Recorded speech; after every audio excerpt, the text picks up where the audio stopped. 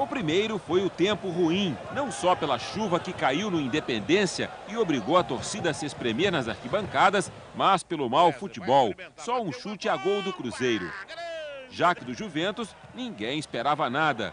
Mas no segundo tempo, tudo mudou. A chuva parou, o Juventus trocou de uniforme e o Cruzeiro acordou. Logo aos dois minutos, Nonato bateu um escanteio. Gelson cabeceou e na sobra Wesley marcou. 1 a 0.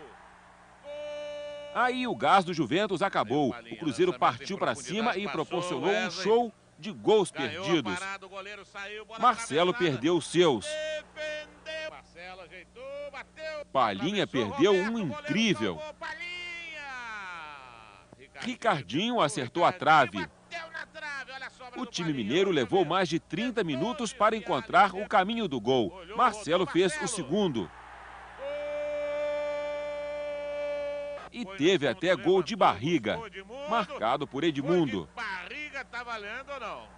O mesmo Edmundo foi derrubado na área aos 49 minutos. Marcelo bateu o pênalti.